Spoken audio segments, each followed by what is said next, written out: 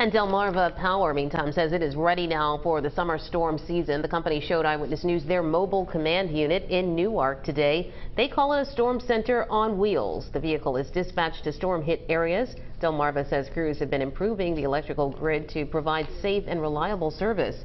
State and county emergency management officials say now is the time to prepare for severe weather. We never thought there'd be a, a, baby formula shortage. We never thought we'd have issues with, you know, supply chains like we've had. We got to think what's going to happen when the power goes out for a few hours, a few days. Make sure your cell phone's charged.